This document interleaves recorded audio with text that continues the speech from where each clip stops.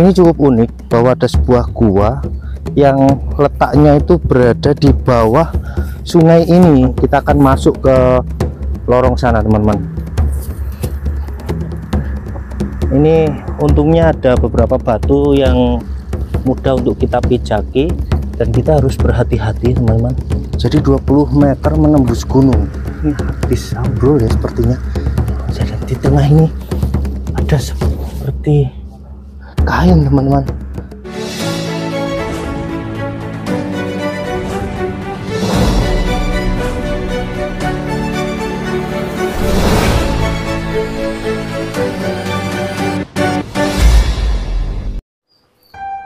Assalamualaikum warahmatullahi wabarakatuh. Salam budaya, salam sejarah, rahayu, rahayu, rahayu. Di kesempatan kali ini saya berada di Kabupaten Mojokerto Untuk menelusuri adanya sebuah gua Yang terletak di sebuah hutan ya. Nah ini memang cukup unik. Tepat lokasinya di Kecamatan Kutorejo teman-teman. Karena di kecamatan ini banyak perbukitan-perbukitan Dan seperti hutan bambu ya di sini yang terlihat di belakang saya. Dan lokasi guanya berada di atas sana teman-teman. Nah nanti kita akan coba menyeberang sungai kecil ini lalu naik ke sini ya. Uh, bila kita lihat memang kontur tanah untuk naik ini cukup sulit medannya. Namun kita akan tetap uh, berusaha untuk naik agar teman-teman semua bisa melihat penelusuran kita dan guanya ya. Ada apa di sana? Ikuti terus perjalanan kami ya. Kita coba langsung uh, ke arah situ ya. Bismillahirrahmanirrahim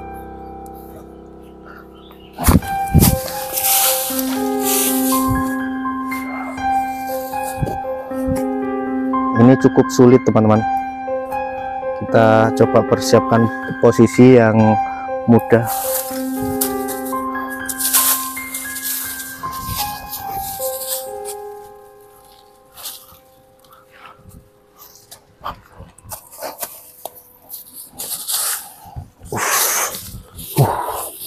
Nah, alhamdulillah kita berhasil naik, teman-teman. Nah, kita akan lanjut lagi ya. Kita menunggu teman kita untuk mencoba berusaha naik ke lokasi ini. Jadi ini kita sudah berada di atas ya, teman-teman. Dari posisi kita naik ke sini tadi, kita akan lanjut melintasi area hutan bambu ya nah coba kita akan naik ya karena menurut informasi dari masyarakat di lokasi wilayah hutan bambu ini ada sebuah lorong istana terpendam tanah. Nah ini kita itu berada di atas. Mari kita lihat dari sini ya teman-teman. Nah ini pemandangannya cukup unik dan sangat indah ya. Wow. Seperti ini teman-teman. Wow. Indah sekali ya berada terletak di ketinggian. Iya ada sungai di sini ada bangunan. Mungkin ini peninggalan Belanda ya. Ini bekas sungai kuno. yang bertingkat. Iya ada sungai. ada di bawah juga ada. Coba kita lanjut penelusuran. Jadi sungainya nih berada di sini juga. Kita lanjut. Kita itu harus tetap berhati-hati karena di lokasi seperti ini tuh memang rawan ular ya teman-teman nah, kita akan menyusuri uh, lokasi hutan bambu ini ya teman-teman Loh, burung apa kok gede ku? Gagak. Nggak tahu ya lokasi persisnya itu sebelah mana ya teman-teman. Namun kita tetap berusaha akan mencari. Ini menurut informasi masyarakat pun lokasi di sini cukup angker. Nah, ini teman-teman. Kita kok turun lagi nih arahnya ke sungai.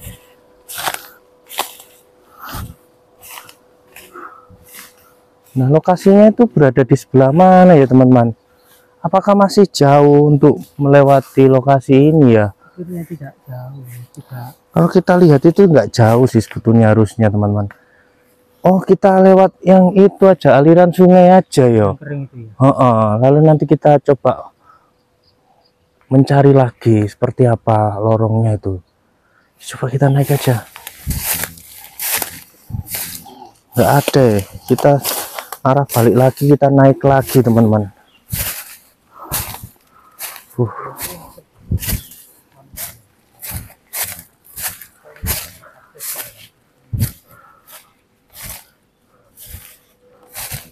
kita cari untuk jalan naik teman-teman.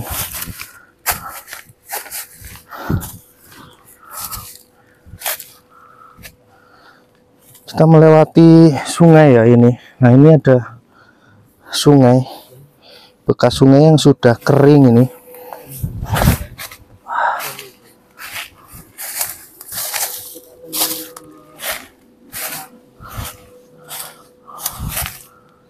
nah ini kan ada bekas cor teman-teman. Ini ada bekas cor. Jadi ini benar-benar sungai kuno ya teman-teman.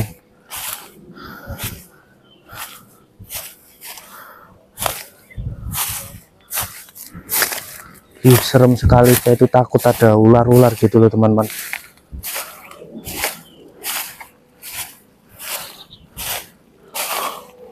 nggak tahu kok kita nggak ketemu-ketemu ya lorong guanya ini. Apakah di bawah sini ya? Coba kita naik ke arah sini melihat posisinya ya teman-teman.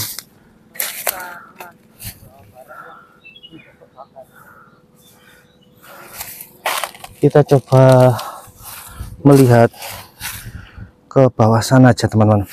Kita turun lagi. Ini cukup sulit untuk mencari gua ini ya. Apakah di bawah sini ya teman-teman?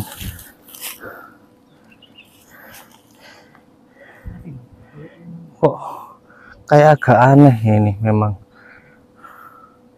Ya nanti kita cari dulu fokus mencari dan kalau sudah menemukan kita akan lanjutkan videonya teman-teman ya. Teman-teman setelah kita naik-naik uh, dugaan kita itu salah teman-teman.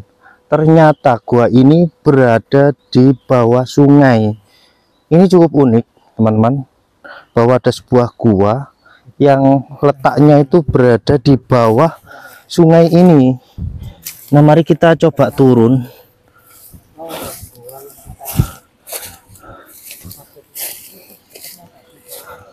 Nah betul kan? Ini di bawah sungai ini ada batu-batu banyak batu ya cukup unik. Jadi sungai di ada di sana. ternyata iya di atasnya lagi. Dan ini yang kedua ini berfungsi ya teman-teman. Lalu yang ketiga ini ini teman-teman lorongnya itu. Nah ini memang seperti jalur gua-gua yang difungsikan sebagai kanal ya di masa lalu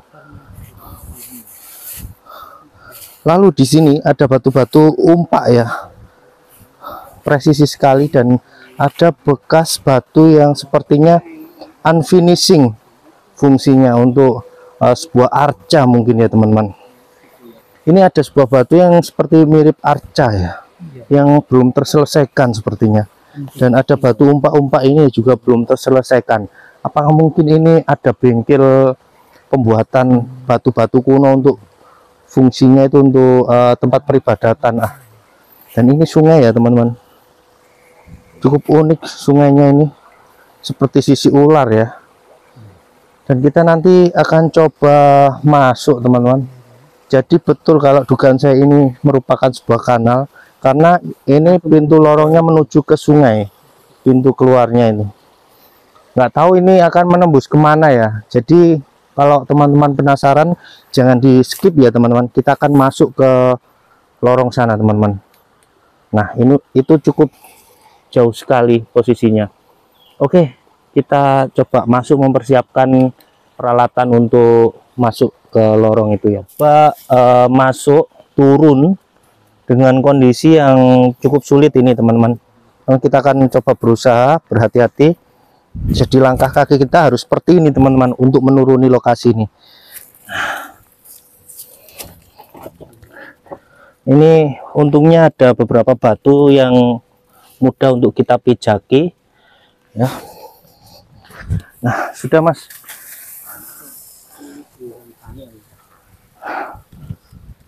Uh. Nah, kayak gini. Prosesnya cukup sulit jadi teman-teman kita akan lanjut menelusuri gua ini ya. Dan kondisinya ini di bagian tengahnya ada seperti aliran sungai ya yang difungsikan untuk aliran sungai. Namun saat ini kering kondisinya teman-teman. Nah apakah memang kondisi gua ini pada masa itu difungsikan untuk uh, aliran sungai ya atau kanal kuno nah untuk uh, pembuatan sendiri ini belum ada literasi yang menguatkan bahwa lokasi ini memang dibuat oleh leluhur atau di masa-masa sekarang ini ya teman-teman. Dan kita harus berhati-hati teman-teman. Karena di lokasi tempat seperti ini mungkin saja ada hewan-hewan yang cukup berbahaya. Ya. jadi ini kita terus telusuri ya Allah apa itu? Teke seperti ini loh dan di tengah ini. Ada se seperti apa namanya? Uh, kain teman-teman. Ya wow kita akan terus susuri. Nah, di depan situ ada benteng. Seperti penguat dinding ini ya. Jadi di atas gua ini merupakan sungai ya teman-teman. Sungai kecil tadi sebelum kita menuju lokasi ini. Dan ini banyak batu-batuan untuk penguat dinding-dinding. Ini habis ambrol ya sepertinya di atas ini. Ya Allah. Cukup berbahaya. Nah ini ada lubang lagi di sini. Perjuangannya cukup luar biasa. Jadi kita ini sudah masuk di kedalaman kurang lebih uh, 10 meter dari arah pintu masuk tadi ya teman-teman jadi 20 meter menembus gunung. Ya. Jadi langsung di sana itu merupakan daratan juga ya, langsung. Nah ini ada celowokan juga. Nah, jadi ke, uh, ada bolongannya loh. Apa menuju sungai tadi yo? Iya. Atau tempat apa itu? Ya mungkin karena ini kan dikuatkan oleh batu-batu ini ya. Kayak gini penampakannya teman-teman. Uh entah fungsinya apa di masa lalu atau kanal atau tempat persembunyian ataupun juga bisa dibilang ini tempat persembunyian pada masa Belanda atau Jepang ya. Dan ini ada seperti bercabang uh, karena menurut catatan literasi pun belum ada yang menguatkan lokasi ini ya. Masih jarang orang yang tahu ini karena tersembunyi Uh, jadi ini berkedalaman 20 meter. Ketinggian 1 meter Sat ya, lebarnya begitu lebar. Jadi kita masuk Ketinggiannya hampir 2 meter sih Mas ini. Lebih lah 2 meter setengah. Tapi lebarnya ini tidak segitu lebar Mas. Semakin ke sini semakin ya. bagus. Nah, mungkin pintunya di sini sebetulnya. Nah, kayak gini ya teman-teman kondisinya. Oke, mungkin untuk penelusuran kali ini seperti itu saja. Semoga bermanfaat dan mohon maaf apabila ada salah kata. Saya akhiri terima kasih. Wassalamualaikum warahmatullahi wabarakatuh. Salam budaya, salam sejarah, rahayu, rahayu, rahayu.